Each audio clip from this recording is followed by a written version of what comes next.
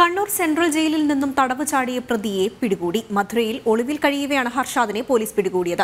അപ്സര എന്ന യുവതിയുടെ സഹായത്തോടെയാണ് ഹർഷാദ് ഒളിവിൽ കഴിഞ്ഞിരുന്നത്.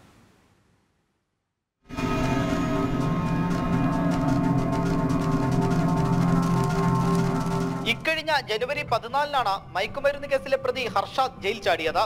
തുടർന്ന് വിവിധയിടങ്ങളിൽ നടത്തിയ അന്വേഷണത്തിനൊടുവിലാണ് മധുരയിൽ നിന്നും ഹർഷാദിനെ പിടികൂടിയത്. ഇവിടെ ഒളിവിൽ താമസിക്കാൻ സഹായിച്ച അപ്സര എന്ന യുവതിയെയും പോലീസ് അറസ്റ്റ് ചെയ്തു. A C P K V വേണുഗോപാലിന്റെ നേതൃത്വത്തിലുള്ള സംഘമാണ് പ്രതിയുടെ ഒളിത്താവളം കണ്ടെത്തിയത്. ജനുവരി പതിനാലിന് രാവിലെ പത്രക്കെട്ടെടുക്കാൻ പോകുന്നതിനിടയിൽ പ്രതി ബൈക്കിൽ കയറി രക്ഷപ്പെടുകയായിരുന്നു. തുടർന്ന് കർണാടക തമിഴ്നാട് തുടങ്ങിയ ഇടങ്ങളിൽ പോലീസ് പരിശോധന നടത്തി. ശേഷമാണ് മധുരയിൽ നിന്നും പ്രതിയെ പിടികൂടുന്നത്. പ്രതിക്ക് വെൽഫെയർ ഡ്യൂട്ടി നൽകുന്നതിൽ ജയിൽ അധികൃതർക്ക് തെറ്റുപറ്റിയെന്ന റിപ്പോർട്ട് വന്നിരുന്നു. ശിക്ഷ അനുഭവിച്ച ഒരു വർഷമാകുമ്പോഴേക്കും സാധാരണഗതിയിൽ വെൽഫെയർ ഡ്യൂട്ടി നൽകാറില്ല. വലിയ വീഴ്ചയാണ് ഇക്കാര്യത്തിൽ ജയിലധികൃതരുടെ ഭാഗത്തു നിന്നും ഉണ്ടായത് ജനം കണ്ണൂർ